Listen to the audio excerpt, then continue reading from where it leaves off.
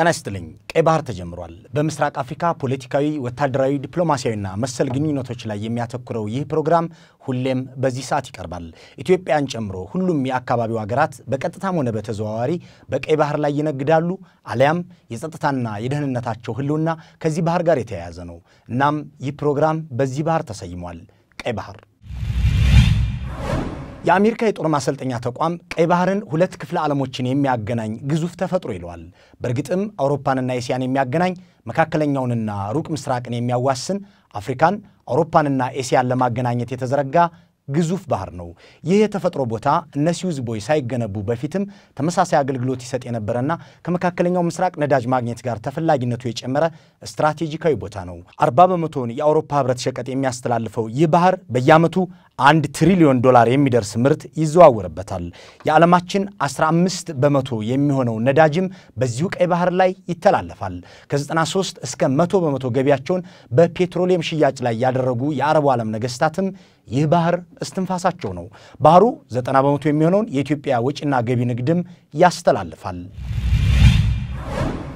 የኢትዮጵያ almost ሁሉም የ import ና export እቃዎች በዚህ መስመር ነው የሚሄደው። የኢትዮጵያ lifeline ነው ይሄ መስመር። ያ መስመር secured መሆን አለበት።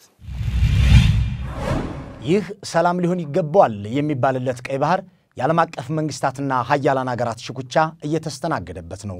ባህሩ ላይ የአውሮፓ ህብረት የጦር መደብ አለው።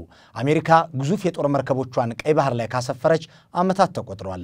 ቻይናም ባልተለመደ ሁኔታ ወታደራዊ መስፋፋት አድርጋ በቀይ ባህር ላይ የጦር መደብ መስርታለች። ሩሲያ እያንዣበበች ነው። ቱርክ በዚሁ ባህር ላይ የጦር መንደር ለማቆም ከሱዳን ደሴት ተሰጥቷታል። ግብፅ ከኤርትራ ጋር ባደረገችው ስምምነት ቀይ ባህር ላይ ጦር ማስፈሯ እየተነገረ ነው። ከፈረንሳይ ጋርም ወታደራዊ ልምምድ በባህሩ ላይ እያደረገች ነው። ጠቅለል ባለ አገላለጽ ሁሉም የጸጥታው ምክር ቤት ቋሚ አባላት በቀይ ባህር ላይ የጦር ሰፈር አላቸው ወይም እንዲኖራቸው እየሰሩ ነው። የምስራቅ አፍሪካ ሀገራትም ሆኑ የተሰባሰቡበት የልማት በይነ መንግስታት ኢጋድ አሊያም ግዙፉ የአፍሪካ ህብረት ይህንን ባህር ስትራቴጂካዊ ትኩረት ሲሰጡት አይስተዋሉም። የዚህ ምክንያቱ ምንድን ነው? ትኩረት ሲሰጡት ዘንድ ከማን ምን ይጠበቃል? የችግሩ መፍትሄስ ማን ነው? በጉዳዩ ላይ ተመራማሪዎችና የጂኦፖለቲካ ተንታኞችን አነጋግረናል። ፕሮፌሰር መድኃኔ ታደሰ በእንግሊዝ ለንደን የኪንግስ ኮሌጅ መምህር ናቸው። ዶክተር አብደታ ድሪብሳን የምክክርን የጥናትና የትብብር ማዕከል በእንግሊዝኛ ምህፃሩ ሲዲአርሲ ዳይሬክተርና ተመራማሪ ናቸው። አቶ ዘሪሁን ተሾመ በተለይ በኢትዮ ኤርትራ ግንኙነት ላይ የልሂቃኑን ሚና የሚተነትን መጽሐፍ የደረሱ ባለሙያ ናቸው። አቶ ዳደ ደስታ በኢትዮጵያ የውጭ ግንኙነት ስትራቴጂካዊ ጥናት ተቋም የሚታተመውን ዲስኩርስ መጽሔት የሚያዘጋጁ የአፍሪካ ቀንድ የፖለቲካ ተንታኝ ናቸው። ባለሙያዎቹ በቀይ ባህር ስትራቴጂካዊነት ላይ ይስማማሉ። ሆኖም ሌላው ዓለም የሰጠውን ትኩረት ሲሶ ያህል የአፍሪካ ቀንድ ሀገራትና የቀጣናው ድርጅቶች አላተኮሩበትም ሲሉ ይናገራሉ። ታላላቆቹ ሀገራት በባህሩ ላይ እየተሯሯጡ መሆናቸውን የሚገልጹት የውጭ ጉዳይ ሚኒስትሩ ወርቅነህ ገበየሁ ሀገራቱ ብሔራዊ ጥቅማቸውን ለማስጠበቅ በአካባቢው እንደተሰማሩ ይገልጻሉ። አቶ ዘሪሁን ተሾመ በበኩላቸው በቀጣናው ጥቃቅን ሀያላንም ተፈጥረዋል ባይ ናቸው። ሁሉም ሀገሮች እንደየ ውፍረታቸውና ቅጥነታቸው የየራሳቸውን ብሔራዊ ጥቅም ለማስጠበቅ መሄዳቸው አይቀርም። ይሄ አካባቢ ዛሬ ብቻ ሳይሆን ትላንትም ስትራቴጂካል ነበረ፣ ዛሬም ስትራቴጂካል የመን ውስጥ የተፈጠረ ሁኔታ አለ። ሳዑዲዎች ከሀውቲ ሚሊሻዎች ጋር የሚደረግ ጦርነት የመን ከሀገር ወደ ሀገር አልባነት የመለሳት በቅርቡ የተከሰተው የገልፍ ሀገሮች እርስ በርስ የመጣላት ሁኔታ አለ። የአሜሪካኖቹ፣ የራሽያኖቹ፣ የሌሎችም በዚህ አካባቢ ቻይናዎች ጨምሮ በዚህ አካባቢ ላይ በአንድ በኩል ወይም በሌላ መንገድ ብሔራዊ ጥቅማቸውን ለማስከበር የሚያደርጉት እንቅስቃሴ አለ። የጦር ሰፈር የመሰረቱ የመካከለኛው ምስራቅ ሀገሮች አሉ። ነው ከድህረ ቀዝቃዛው ጦርነት በኋላ እነዚህ የጂኦፖለቲካዊ አቀማመጥ ምናምን የምንለው አቶት የነበረውን significance የሀያላኑ ፉክክር ጠፋ ተብሎ assume የተደረገው አሁን revive እያደረገ ነው፣ እየመጣ ነው። የዛ actor ኦች ደግሞ traditional የነበረው የሁለቱ ሀያላን የምትለው ሳይሆን ጥቃቅን ሀያላኖች በየአካባቢው ተፈጥረዋል። አንዳንዶቹ አረብ ሳይሆን አረብ የሆኑ አገሮች አሉን፣ ጎረቤቶቻችን ለተለየ ጥቅም ምክንያት ቅድም እንደተባለ ማለት ነው። ግብፅ አለ፣ ስዊዝ ካናል ትቆጣጠራለች። physically ማለት ነው። በተጽዕኖ ደግሞ ባብ ኤል መንደብ አካባቢም ውር ውር ትላለች። ስለዚህ ሁለቱም የቀይ ባህር ጫፎች በግብፅ እና በግብፅ influence በምታደርጋቸው sphere of influence ውስጥ ባሉት የአረብ ኃይሎች የሚተዳደሩ ቢሆን ወደዛው አካባቢ የሚሄድ ሁኔታ ስላለ ማለት ነው።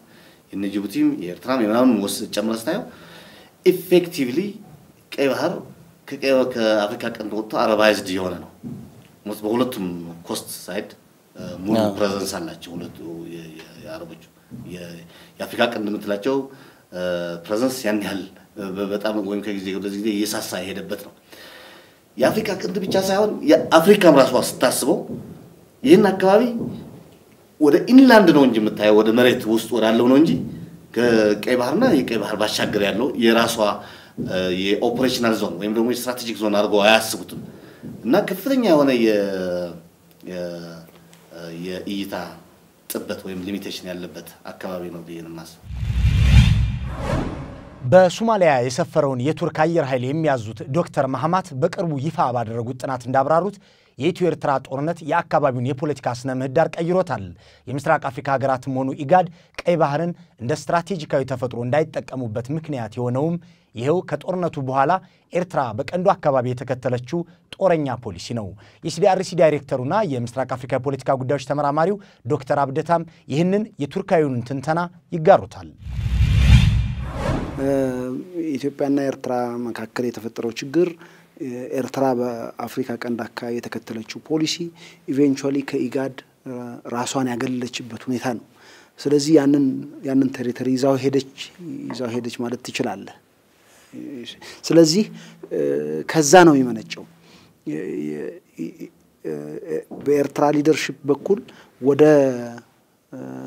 ወደ ኢጋድ ወደ region ኑ interest ከዚህ ጋር ነው ተሳስሬ ያለሁት በአፍሪካ ቀንድ የሰላም ዓላማን ነው ማራመድ የሚያዋጣው ተብሎ ተይዞ የተሄደበት ቢሆን probably አሁን የተፈጠረው ሁኔታ ላይኖር ይችላል።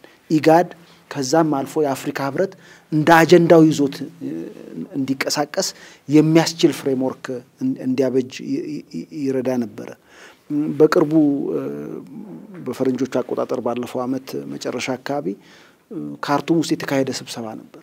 የአፍሪካ ቀንድና የገልፍ ሀገሮች እንዴት ነው በጋራ ጉዳዩን እንደ አንድ security complex ታይቶ መፍትሄ የሚያገኝበት የሚል ጥረት ተደርጎ ነበር። የኤርትራ ወገን ሳይሳተፍበት ቀረ ይሄንን እና እንደውም የአዘጋጆቹን የመውቀስ undermine የማድረግ ስራ ውስጥ ነው የተሄደው እና የዛ አካል ነው የዛ ችግር extension ነው አድርጌ ነው እኔ የማየው። ቀይ ባህር የአፍሪካ ቀንድ ቀጠና ነው። ግን የአፍሪካ ቀንድ እንደዚህ ነኝ፣ ኢጋድ እንደዚህ ነኝ ብሎ ቀይ ባህርን በተመለከተ እንደዚህ እንደዚህ አይነት አቋሞች፣ ፖሊሲዎች፣ ፍላጎቶች፣ interest ኦች አሉኝ ምናምን ስትል አትሰማው በፍጹም። ለምሳሌ በዚህ እይታ የመን የአፍሪካ ቀንድ ጎረቤት ናት፣ next door። ግን የመን ላይ ያን ያ ሁሉ እሳትና ቦምብ ሲዘንብ አንድ ድምፅ የአፍሪካ ቀንድ በሚል ወይም ኢጋድ በሚልም አትሰማም። እንደውም በአቅቶት የእኛም የአንድ ፎረም አጋር ነበረች። ሰንዓ ፎረም ያሰማው ነገር የለም። በቀይ ባህር ላይ የሚታዩ አዳዲስ ክስተቶች በየጊዜው ይለዋወጣሉ። ሳውዲ አረቢያና ቻይና ሳይጠበቁ ገብተዋል። ከአይን ጭራ እንቅስቃሴ በፈጠነ ሁናቴ በሚቀያየረው በዚህ ባህር ፖለቲካ ላይ እንደ ወትረው በሁለት ሀያላን የሚመራ ትንቅንቅ አይታይም። ይልቁንም ብዙ ጉልበተኞች የየራሳቸውን ጥቅም ለማስጠበቅ ሲሉ በባህሩ ላይ እየዘመቱ ናቸው። ለእነዚህ አዳዲስ ክስተቶች የአፍሪካ ቀንድ ሀገራት ምን ያህል ተዘጋጅተዋል ሲሉ የሚጠይቁት የኪንግስ ኮሌጅ ፕሮፌሰሩ መድኃኔ ታደሰ ናቸው። አንዳች መላ ያስፈልጋል ሲሉም ይመክራሉ። ሌሎች ተንታኞች ደግሞ የኢትዮ ኤርትራን ችግር ለመፍታት መጣር ዘላቂ መፍትሄን ያመጣል ሲሉ ይናገራሉ።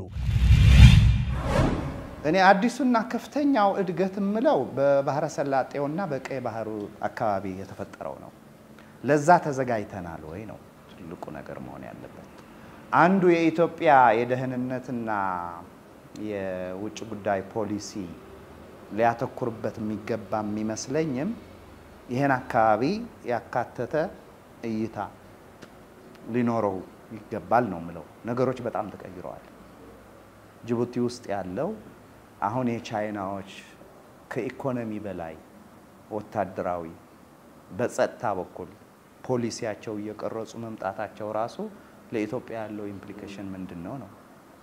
ሶማሊያ ውስጥ በሙሉ ከቀይ ባህር ጀምሮ እስከ ታች ድረስ ያሉ ወደቦች ላይ በኢኮኖሚ ትስስር አንጻር ምን እየተፈጠረ ነው?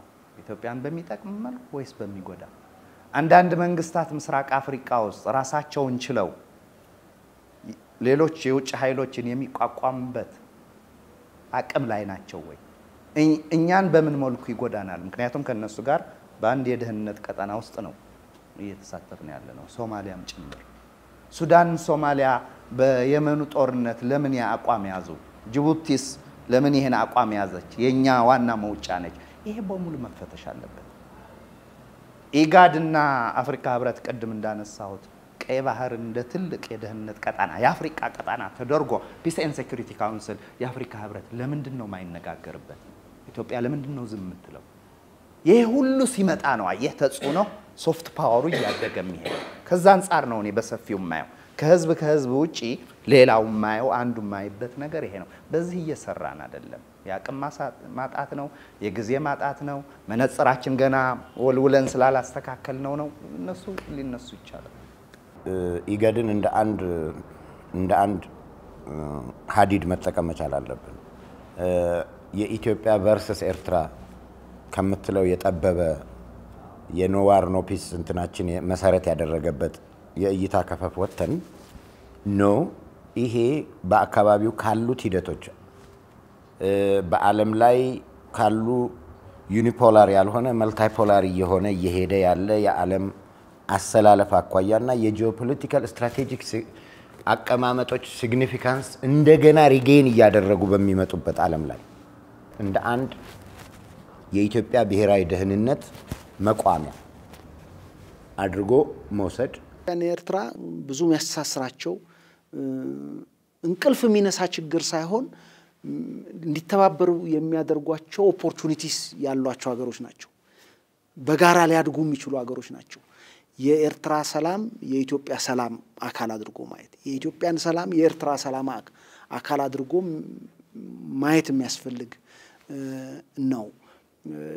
ያ የለም። ቅድም እንደተጠቀሰው ነው ኤርትራ and that bigger problem of Horn of Africa ለበርካታ ዓመታት ሲንከባለል የቆየው የ other powers rivalry game ውስጥ የገባችበት ሁኔታ ነው። ያንን መቀየር አለበት በኤርትራ የሚገኘው leadership። ከዚህ ክልል ጋር ነው ጥቅም የተሳሰረው ለሌሎች instrument ከመሆን ይልቅ የራሴ ጥቅም ከዚህ አካባቢ ጥቅም ጋር የተሳሰረ ነው ብሎ vision ባለው መልኩ መንቀሳቀስ ሲችል ያን መቀየር ይቻላል። ግን በአንድ እጅ ማጨብጨብ አይቻልም። ፍላጎቱ ከዚህ ወገን ቢኖርም the other side ም ከዚህ ትብብር ነው የምጠቀመው ብሎ ካመነበትና ከሄደበት ነው። ልዩነቱ የምትገኝን ሽርፍራፊ እየጨመረች ትሄዳለች ተብሎ